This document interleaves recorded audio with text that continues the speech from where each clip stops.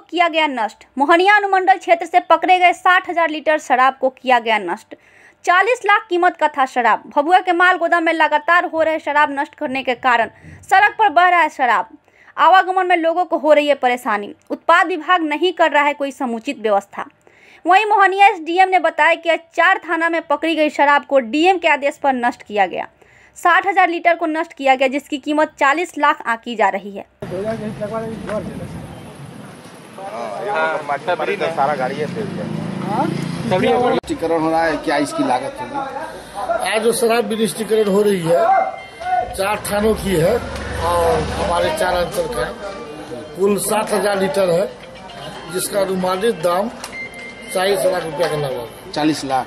हाँ, तो सर ये मोहनिया अनुमंडल क्षेत्र का सब हाँ मोहनिया अनुमंडल क्षेत्र का। ये कब से कब तक का शराब है शराब इधर होगा। आपको लग रहा है कि वही छह महीना का अंदर का ही होगा।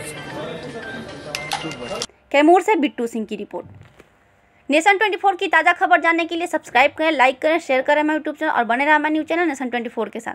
नमस्कार।